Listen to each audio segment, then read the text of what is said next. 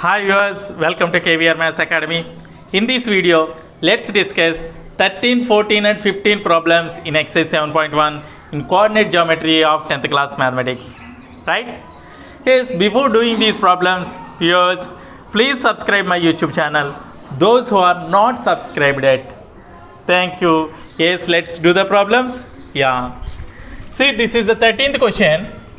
Find the radius of the circle whose center is 3 comma 2 and passes through minus 5 comma 6. Find the radius of the circle whose center is 3 comma 2. Here center 3 comma 2 has given and it which is passes through a minus 5 comma 6. Here O we have taken a center, A is the point on the circle. So we have to find the radius. Radius means distance between these two points O and A we should find, right? Yeah. Solution given given center center O 3 comma 2 and uh, and point point on the circle a minus 5 comma 6 right yes we have to find the distance between these two points which means radius right? Yeah. Radius radius is equal to oa we should find right? Yes what is the distance formula? Distance is equal to root of x2 minus x1 whole square plus y2 minus y1 whole square. Here this is o as taken as x1 y1 this is taken as x2 y2 right? Yeah. So that is equal to oa is equal to root of x2 minus x1 minus 5 minus 3 whole square plus 6 minus 2 whole square. That is equal to minus 5 minus 3 yes minus 8 minus 8 whole square. Yes exactly 64 plus 6 minus 2 yeah. 4 4 square is 16 that is that is equal to this is square root of 80 64 plus 16 is 80 so that is equal to this can also be written as how much? Yes 16 16 5 are 80 only or not? 16 5 are. Square root of 16 means 4 4 root 5 4 root 5 has come. Therefore radius. Radius is equal to 4 root 5 units have you understood clearly? Yes note it down. Okay next 14th question. Can you draw a triangle with the vertices 1 comma 5 5 comma 8 and 13 comma 14 give reasons. Can you draw a triangle with the vertices 1 comma 5 5 comma 8 and 13 comma 14 so three points has given uh, we have to take it as vertices with these vertices can we draw triangle or not? Let us check. So how can you find if a if a triangle draw or not? Yes. In a triangle the sum of any two sides of the triangle is greater than the third side the sum of any two sides of a triangle is greater than the third side. That's why let us check the distance between these two points these two points and these two points. Then automatically we can find whether the that are the vertices of the triangle or not. Let us find yes solution. Given points given points are let us take a 1 comma 5 b 5 comma 8 and c 13 comma 14 let us take. Right. Yes distance formula. Distance between any two points is equal to root of x2 minus x1 whole square plus y2 minus y1 whole square. Right? Yes let us take the points a b. A 1 comma 5 b 5 comma 8 let us take here this is taken as x1 y1 this is x2 y2 let us take like that. Ab is equal to ab is equal to root of x2 minus x1 5 minus 1 whole square plus this is 8 minus 5 whole square. That is 5 minus 1 is 4 4 square is 16 plus 8 minus 5 3 3 square is 9 square root of 16 plus 9 root 25 that will be 5 so ab is equal to how much we have got? 5 next take a b c. B 5 comma 8 and c 13 comma 14 also. Let us take. This is x1 y1 x2 y2 let us take like that. Right. Yes bc is equal to root of x2 minus x1 13 minus 5 whole square plus 14 minus 8 whole square. 13 minus 5 is yes 8 8 square 64 64 plus 14 minus 8 6 6 square is 36 yes. 64 plus 36 is yes 100 square root of 100 that is equal to 10 right. Ab is equal to 5 bc is equal to 10 so ab plus bc is equal to 5 plus 10 15 so if ac can get more than 15 these are the points of the vertices of the triangle otherwise not the vertices of the triangle. Yes. Now let us take ac a 1 comma 5 and c 13 comma 14 take.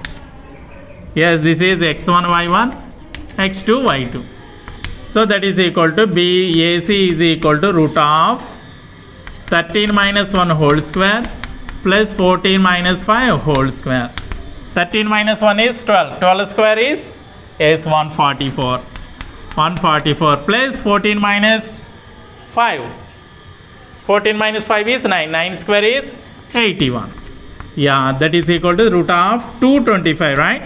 Yes 225 is exactly 15 so here ab plus bc is equal to ac not more than ac that's why these are not the vertices of the triangle. Here ab plus bc is not greater than ac is not greater than ac so the given points are given points are not the vertices. Vertices of the triangle understood clearly? Yes wrote it down. Next 15th question. This is the final question in exercise 7.1 see find the relation between x and y such that the point x comma y is uh, equidistant from the points minus 2 comma 8 and minus 3 comma minus 5 has given that two points has given and p x comma x comma y is that point which is equidistant from this point. So we have to find the relation between x and y. So x and relation means here equation we should find right? Yes. Write down first solution. Given points are points are a minus 2 comma 8 and b minus 3 comma minus 5 right. Next